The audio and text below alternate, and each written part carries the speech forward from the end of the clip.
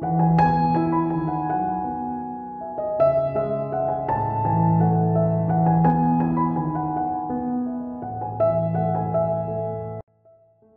kính chào quý vị và các bạn. Chào mừng quý vị và các bạn đã đến với bản tin cập nhật giá vàng mới nhất phiên chiều ngày hôm nay. Hôm nay là thứ năm, ngày 17 tháng 11 năm 2022, được phát sóng trên kênh Giá cả thị trường.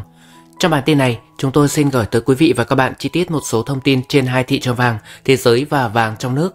Phần tiếp đến của bản tin là bảng giá vàng trong nước được ghi nhận mới nhất trong phiên giao dịch buổi chiều ngày hôm nay. Sau đây sẽ là những nội dung chi tiết. Mở đầu của bản tin là một số thông tin trên thị trường vàng thế giới. Theo ghi nhận mới nhất ở thời điểm này thì giá vàng trên thị trường thế giới vẫn trong xu hướng giảm khá mạnh, giảm gần 10 đô la Mỹ trên một ao và với tỷ lệ giảm là 0,55%. Thời điểm này đang đứng quanh mức 1.763,90 đô la Mỹ trên một ao.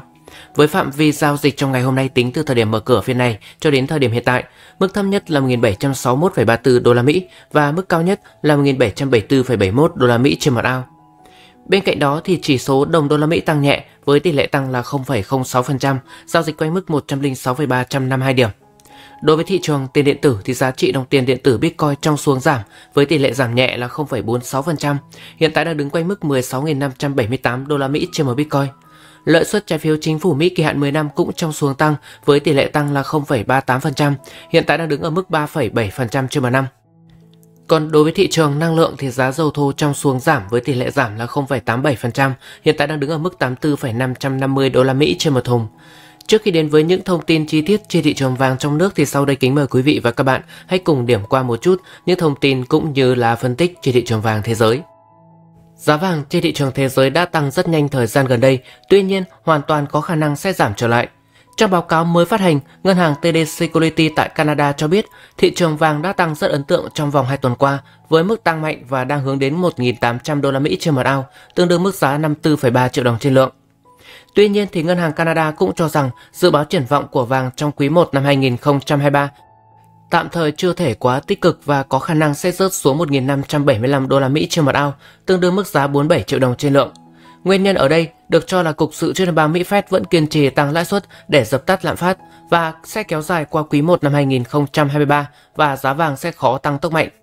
Bước sang quý 2 năm 2023, khi mà Fed đã hoàn thành mục tiêu giảm lạm phát thì lãi suất dừng tăng, giá vàng sẽ đạt mức 1.800 đô la Mỹ trên một ao vào cuối năm 2023.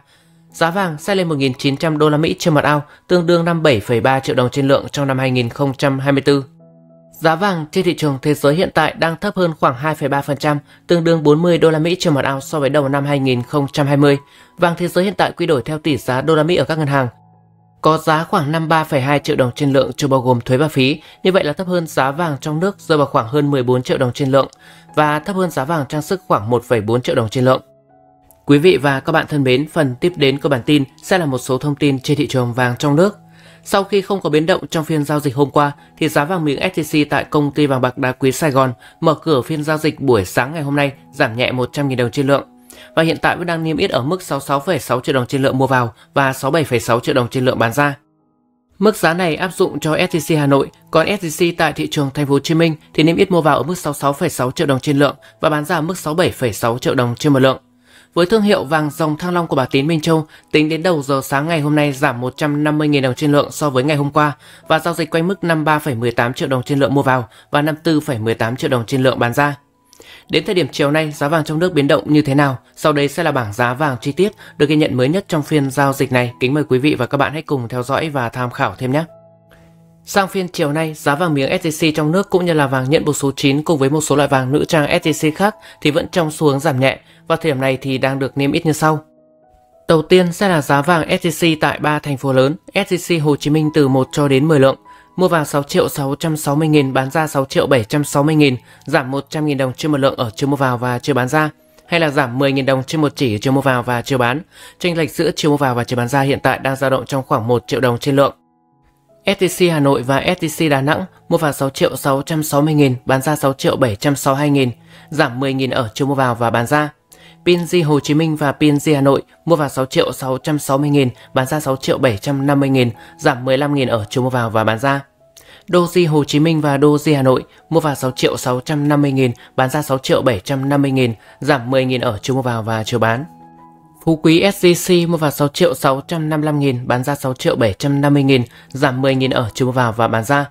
Bảo Tín Minh Châu mua vào 6 triệu 656 nghìn, bán ra 6 triệu 748 nghìn, giảm 12 nghìn ở chiều mua vào và chiều bán ra. Mi Hồng SJC mua vào 6 triệu 660 nghìn, bán ra 6 triệu 760 nghìn, giảm 20 nghìn ở chiều mua vào và bán ra.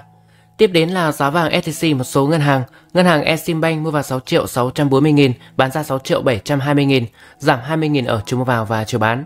Ngân hàng SCB mua vào 6 triệu 650 nghìn, bán ra 6 triệu 780 nghìn. Ngân hàng Tbengon mua vào 6 triệu 650 nghìn, bán ra 6 triệu 750 nghìn, giảm 10 nghìn ở chiều mua vào và bán ra.